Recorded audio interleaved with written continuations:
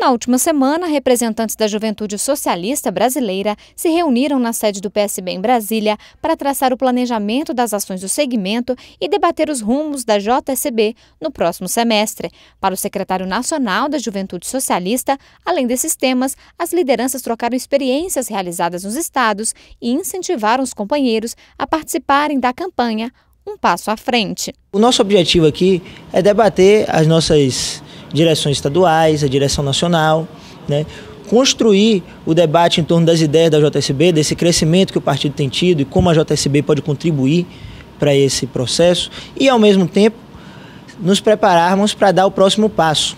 Né? A gente tem feito uma campanha que é JSB um passo à frente e a gente, inclusive, quer aproveitar para convocar a militância a se engajar nessa campanha, é debater os grandes problemas do país é debater soluções para esses grandes problemas.